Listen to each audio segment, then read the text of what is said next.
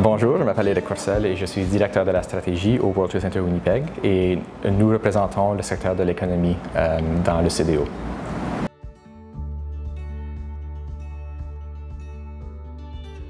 Ce que, ce, ce, projet nous permet de faire, c'est de, faire les liens euh, plus étroits entre la, francophonie euh, franco-manitobaine et aussi celle de, de, l'extérieur, surtout le Québec et la France. En pratique, ça veut dire qu'on quand on fait des missions euh, économiques, soit à Montréal ou ailleurs, ou que les gens viennent ici, euh, on parle non seulement au nom du World Trade Center Winnipeg, mais aussi au nom de chacun des organismes dans le CDO.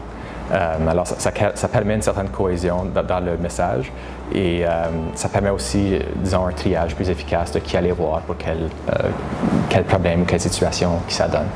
Au mois d'avril, nous avons fait venir une délégation du Québec. Alors, c'était le réseau des femmes d'affaires du Québec. Et puis, on les a fait faire la grande tournée du monde des affaires à Winnipeg, mais aussi, par exemple, ils se sont présentés au au dîner de la Chambre de commerce francophone de Saint-Boniface. Et puis, ils ont rencontré quelques acteurs économiques euh, de la francophonie en même temps. Alors, euh, euh, ça fait toujours partie de qui on est. Et puis, on fait toujours, on fait le possible pour faire le lien entre les marchés francophones et puis la francophonie ici au Manitoba. Je pense que ben, c'est normal d'avoir des problèmes de coordination. Je dis problème de façon large, c'est pas qu'il y en a eu, mais c'est que euh, de faire en sorte que 33 organismes se rencontrent euh, euh, assez systématiquement pour parler de, de,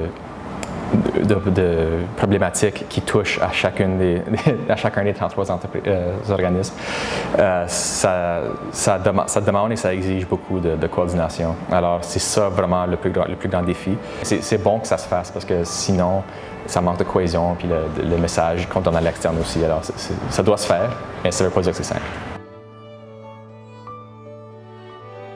Pour le Trade Center, l'avenir et les prochaines étapes, c'est vraiment de continuer euh, à, tisser des liens avec les marchés francophones euh, à l'extérieur du Manitoba, surtout le Québec et la France, euh, et certainement de plus en plus des, coins de, l'Afrique francophone.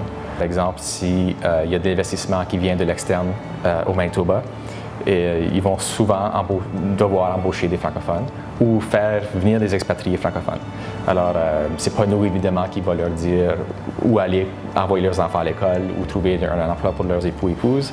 Alors, ça prend euh, des agences comme le CEDEM ou le Service en santé en, français, etc. Alors, c'est bon d'avoir une certaine cohésion pour qu'on sache qui fait quoi et que le triage se fait efficacement, pas pour, nous, oui, mais aussi pour les gens qui viennent de l'extérieur, pour qu'on présente un front plutôt uni.